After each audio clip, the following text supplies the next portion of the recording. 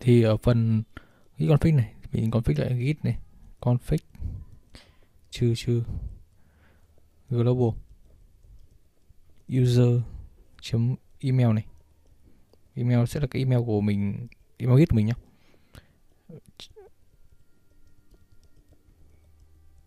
Com này. Và cái username nữa. Mình sẽ cần cả config cái username. Chấm name. Sẽ là cái, cái username này sẽ là cái ID của mình nhé Edward Rose đây cái ID này này. Đây là cái này. Ok mình đã config xong. Thì bây giờ mình sẽ git add lại này. Git add chấm này. Mình có hai kiểu git add.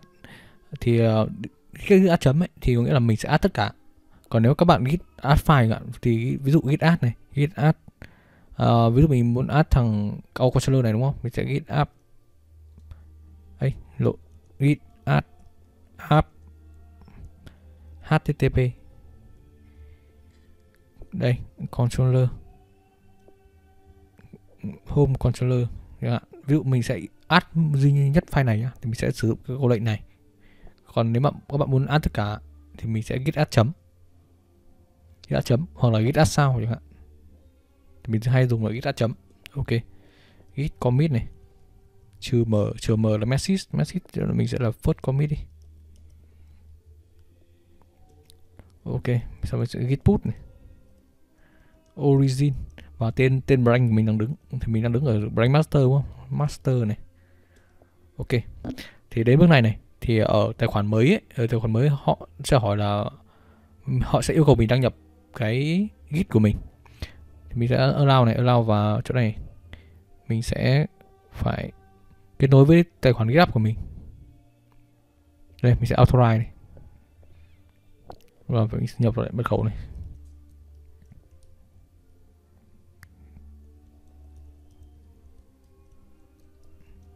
Ok. Đây, mình đã connect xong này.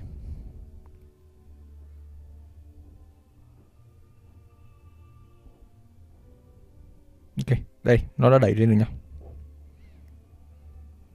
Thì mình check lại ở bên git này. Bắt đầu là nó như này đúng không? Bây giờ mình sẽ đo lại này. Ok nó đã đẩy hết các thư mục lên cho mình rồi. Thì ở đây các thư mục của mình là như này. Và cái commit này. Message message commit nó sẽ là ở đây. First commit. Ok và một, một cái lưu ý nữa là ở file git ignore git ignore này. Nó có một vài cái như này thì đây là cái những cái, những cái file mà nó sẽ không được đẩy lên nhá không được đẩy lên git. Thì đối với thằng Laravel nó sẽ có thằng vendor này và thằng nv là hai thằng nó không được đẩy lên git. Cả storage nữa. Storage và mấy thằng ở file public nữa. Và mấy thằng này sẽ không được đẩy lên. Thằng vendor mình này. Đồng mấy phần này nhá thằng vendor này nó sẽ không được lên. Thằng vendor sẽ là là cái thằng mà uh, sẽ chạy cái Laravel của mình. Và thằng NV NV là cái file môi trường. Ở đây nó sẽ có một vài cái thông tin nhạy khá là nhạy cảm ấy thì mình sẽ không được đẩy lên git nó liên quan đến bảo, bảo mật rất là nhiều. Ví dụ như là cái cái key của bạn cái key, key của thằng mail này. Mail và key của thằng AWS này. Booster này. Và mấy thằng kiểu Reddit các kiểu ấy. Thì mình không được ờ, đẩy các password lên đó không là người ta đọc được cái key của mình thì họ sẽ có thể tấn công cái project của mình. Và thằng storage nữa, storage đôi khi nó sẽ lưu những cái biến mà khá là nhạy cảm ấy. Nên mình phải ignore nó đi. Ví dụ các bạn muốn ignore thằng app controller hạn, thì các bạn sẽ phải thêm ở đoạn chỗ này á mình sẽ là app này. Mình sẽ viết như này. Khi mình viết như này thì nó sẽ bỏ qua cái thư mục app của mình mỗi khi mình put lên git. Ok. Và còn cái nữa. Khi mà bây giờ mình, ví dụ như mình sẽ clone cái project này về, mình sẽ, ví dụ mình đứng ở một cái máy khác đi. Giả sử mình là một thằng ở máy khác mà mình muốn lấy cái code này về thì mình sẽ làm cái gì? Đầu tiên mình sẽ clone cái GitHub này về nhá. Mình sẽ copy copy cái đường dẫn này lưu ý là copy đến cái chữ tên project này nhá, tên repository này nhá. Mình không không không có mấy cái suột đằng sau, ví dụ như kiểu app như này đâu. Mình sẽ không không cần mấy cái đằng sau, mà chỉ cần đến cái tên của repository thôi. Và mình sẽ mở cái terminal lên. Mình sẽ đi di chuyển đến này. Dùng cái câu lệnh CD là để di chuyển này, di chuyển đến thư mục desktop này. Và mình ở đây mình sẽ make dia này đây là câu lệnh để tạo nên cái folder tạo nên một folder. Uh, test đi mình sẽ để tên folder là test. Ok mình sẽ di chuyển đến thư test này cd test này. Và ở đây mình sẽ thực hiện clone cái project này git clone. Và mình sẽ dán dán cái cái mà mình vừa copy ấy. ok cloning này nó cloning. Đây mình sẽ đã lấy code về rồi. Đóng lại test này đây, các bạn thấy cái thư mục text của mình không? Thì là cái, đây là cái code mà mình lấy từ trên git về nhá. Và một cái lưu ý này, khi mình lấy cái project ở trên git của mình về đúng không? Thì nó đã bị, có một vài file nó đã bị ignore rồi. Trong đó có thằng vendor và thằng nv thì mình cần phải có hai cái file đó để mình chạy nhá. Để mình chạy project level của mình. Bây giờ mình sẽ mở cái, mình sẽ mở cái ờ, project mới lên nhá. New window. Mình sẽ mở cái thư mục mình vừa clone về này. Desktop này. Test này. Và textshop đây. Ok. Thì mình sẽ lại mở, tiếp tục mở cái terminal lên. New terminal này. Các bạn thấy, không không thấy cái thư mục vendor và cái file .nv ở đây đúng không? Thì đầu tiên mình sẽ phải tạo ra cái nó đã. Mình sẽ phải copy copy cái file nv.example này.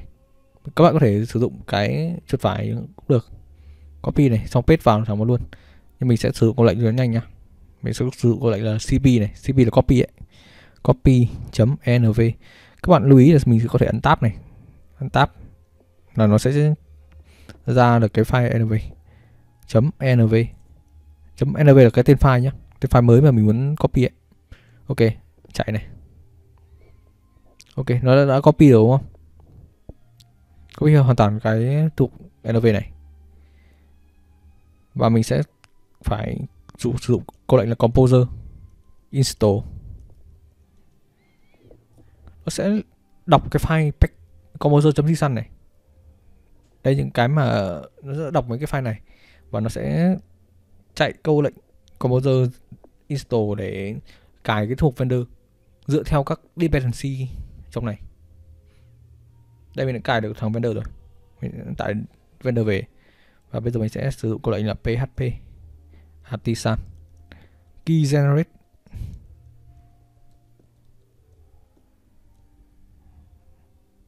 Generate. Mình sẽ phải generate cái key ra. Key key này nó sẽ được nằm trong thằng đây. Đấy up key này.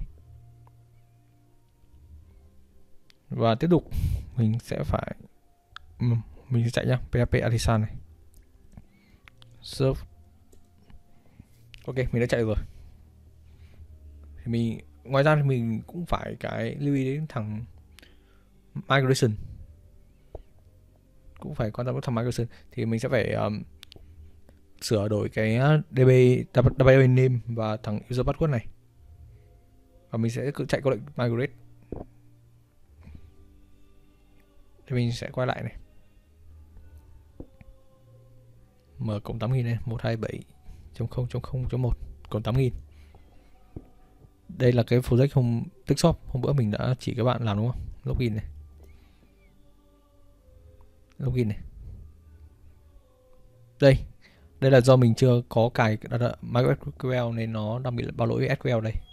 Thì các bạn chỉ cần sửa lại các thông tin ở trong SQL thôi ok đây vậy bài của mình đến đây hết